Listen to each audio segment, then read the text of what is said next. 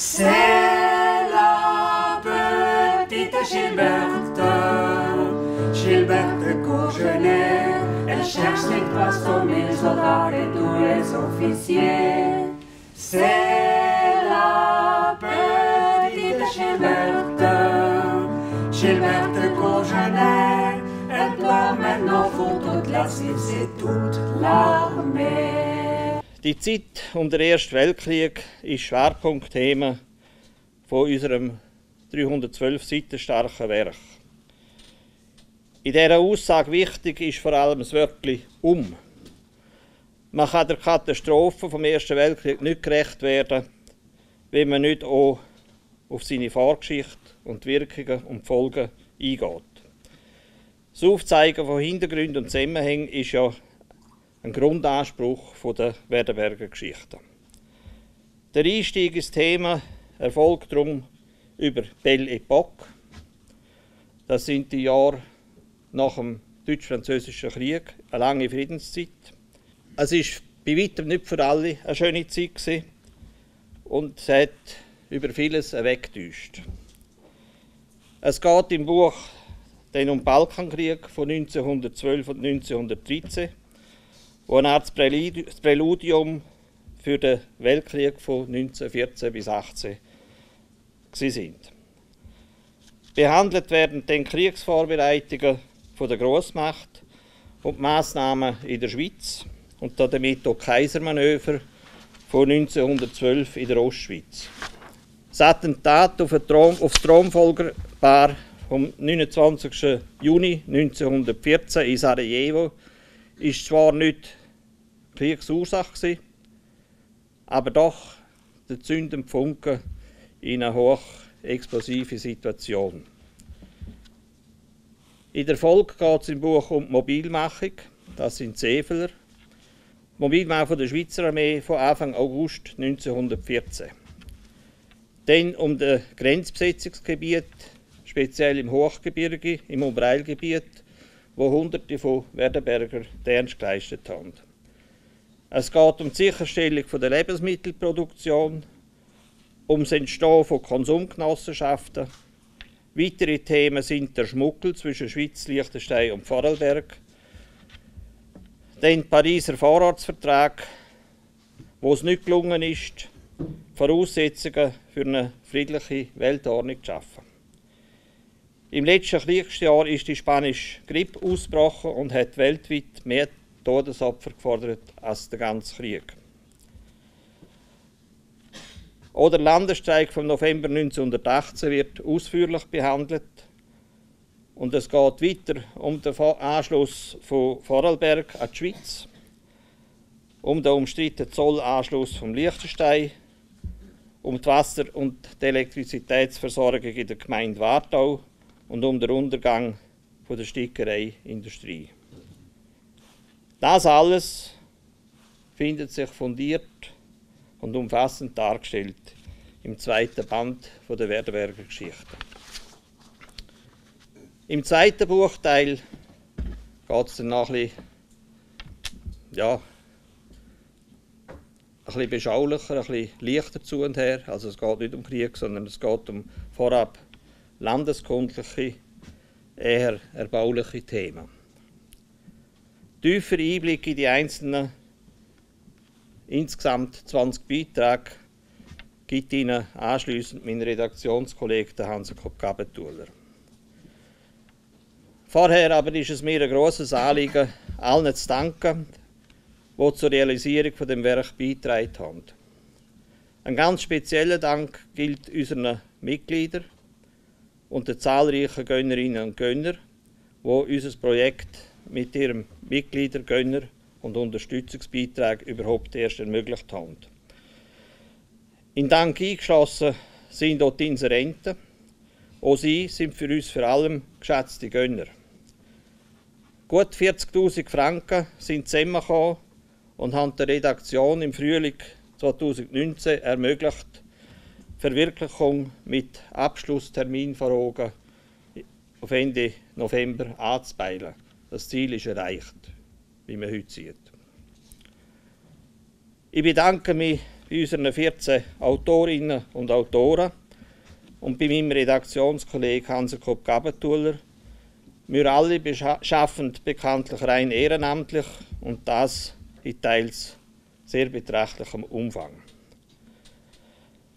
Ein herzlicher Dank geht an unser Buchmacherteam, an unsere zuverlässige und aufmerksame Korrektorin Lotti Koch, an Leihautor Peter Freudemann, an Lithograf Werner Graf, an Werner Siewetz und sein Team von B-Media für Koordination und Begleitung von der Produktion und an Drucker Markus Barletta von der Multicolor Print, wo erneut hervorragende Arbeit geleistet haben.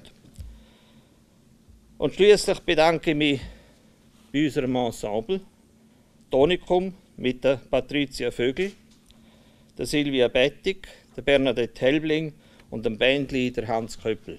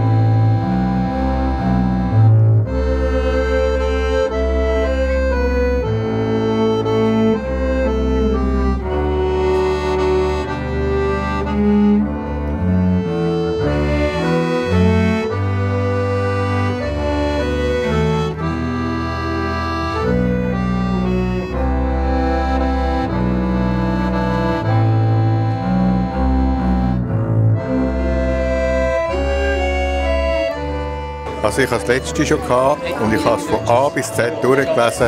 Das ist absolut faszinierend. Ich freue mich schon.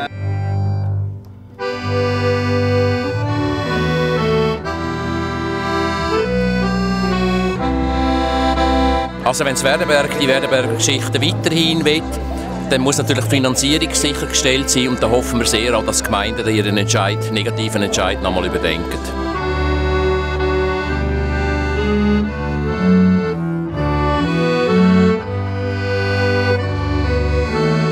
Ich bin begeistert, ich freue mich richtig auf das Buch. Und das ist etwas, was würdig ist von einem historischen Verein, so, ein Buch.